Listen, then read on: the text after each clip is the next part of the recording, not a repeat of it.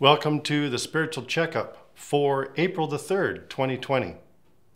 We've been unpacking together a spiritual survival kit, some of the essential things that God has given us to not only survive, but actually thrive, especially during times of crisis. Last week, we introduced the idea of meditation, and we looked at the first two R's of biblical meditation that is, reading scripture and reflecting on creation. And you can check that out in last week's Friday Spiritual Checkup video. We're going to look at the next two R's of biblical meditation today. It's really critical that we understand the battle for the mind. And the Bible makes this really clear to us too. In Philippians, it tells us whatever is true, whatever is noble, whatever is right, whatever is pure, whatever is lovely, whatever is admirable, if anything is excellent or praiseworthy, think on these things. In other words, it matters what we fill our mind with. In Romans, we read this Don't be conformed to the pattern of this world, but be transformed by the renewing of your mind. So the mind matters, and meditation, biblical meditation, is one way that we can win and thrive in the battle for the mind.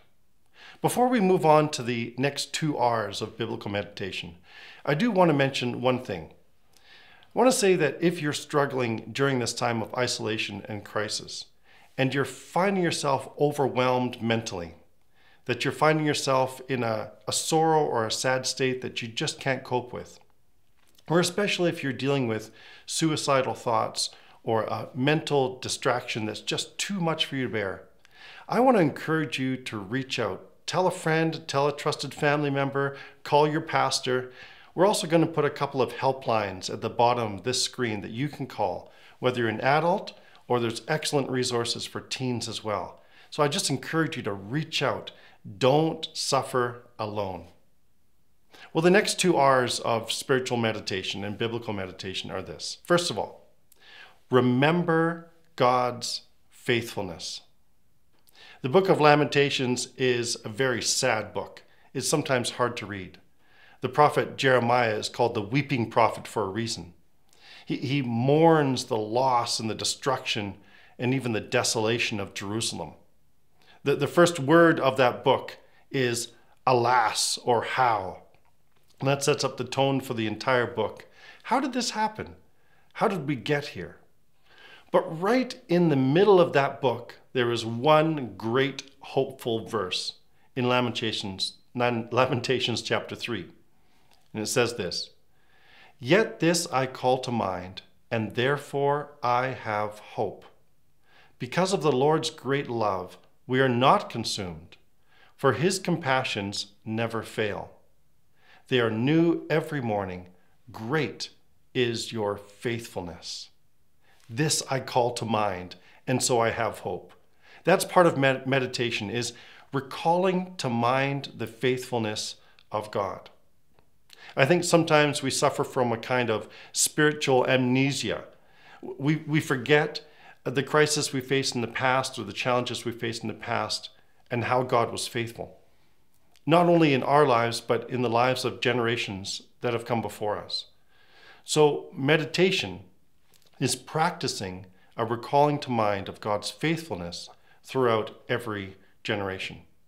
In the Old Testament, there was a practice of taking stones, sometimes a big stone, sometimes a bunch of smaller stones, and piling them together in a heap.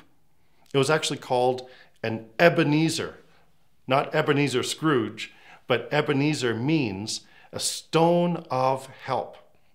And the idea was that in subsequent generations, children would come and say to their parents, why is there a bunch of stones here? That's odd. And the parents would say, Let me tell you what God has done. Let me tell you how we came to this place by God's help. That's an Ebenezer. That's an act of remembering. That's an act of meditation. And so, how do we remember God's faithfulness? Well, we need to think about it. We need to literally sit down and recall to mind the ways that God showed his goodness and faithfulness to us in the past and then write them down. Make a list, post it on your fridge, post it on your door, add to the list as time goes on. as you recall God's faithfulness. And then turn that into a prayer. Thank God for the faithfulness that you see before you. And then maybe tell someone about it. That's how we can meditate on the faithfulness of God. So, the third R of biblical meditation remember God's faithfulness. The fourth R, and I think this might be the hardest, at least for me, uh, maybe for many people too. The fourth R is this rest in God's presence. Rest in God's presence. In Isaiah chapter 26, it says, You will keep in perfect peace those whose minds are steadfast because they trust in you. When I do shop for clothing, I shop very differently from the girls in my household. When I shop for clothing, my, my whole goal is get in, get what I need, and get out. That's a very different approach from the girls in my house. Sometimes I do that with prayer as well.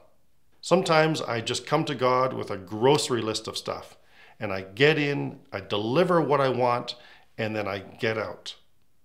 I need to learn to slow down in my prayer. I need to learn listening prayer, restful prayer.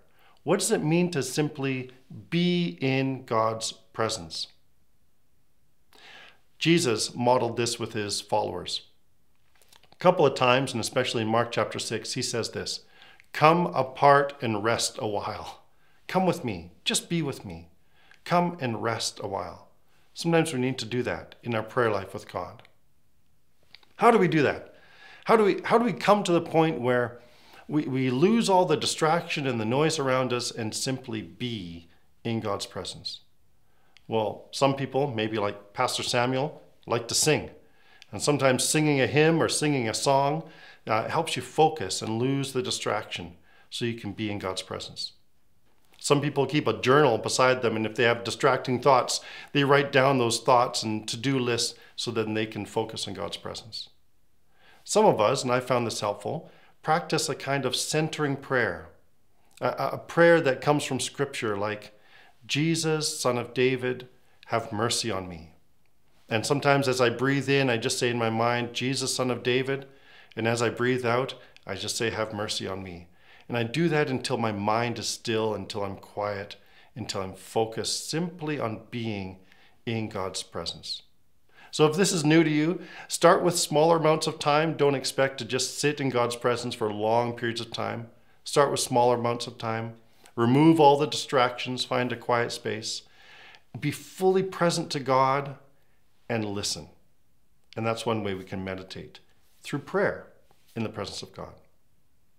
So, biblical meditation is essential. It's an essential part of our spiritual survival kit for all times, especially in times of crisis. Remember to read scripture, reflect on creation, remember God's faithfulness, and rest in God's presence. Well, thanks for joining us today for our spiritual checkup. Make sure you tune in on Sunday. It's Palm Sunday coming up, and we have a special service that will be on our YouTube channel and you can check that out. Thanks so much.